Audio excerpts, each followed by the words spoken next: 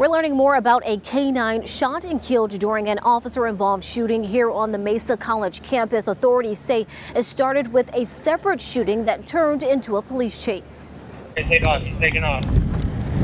Taking off. A video shot by our photojournalist in the 10 News breaking news tracker showing the suspect take off in a white Tesla with police chasing behind. The San Diego County Sheriff's Department says before the chase, San Diego police received a call about a shooting on Ben Street near the Mesa College campus around 1:30 a.m. The suspect had shot at the victim multiple times and then drove away in a white Tesla. All right. Any interviews? Police later spotted the Tesla and the suspect with a gun at an apartment complex on Armstrong Street. The gunman fled the area, leading police on a half mile chase onto the Mesa College campus.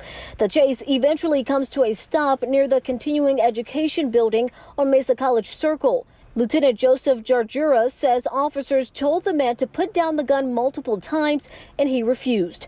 That's when they deployed the canine. Suspect produced his gun, fired one shot, which prompted one San Diego PD officer um, to discharge his weapon.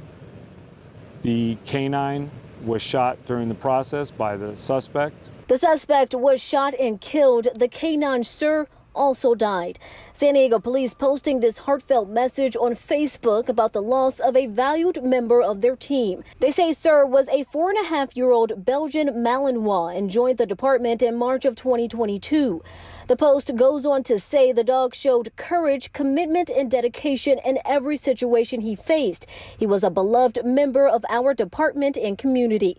The department says Sir is the second police canine they've lost in the line of duty. The sheriff's department says the victim in the initial shooting was not hurt despite being shot at, and no other officers were hurt in the officer involved shooting.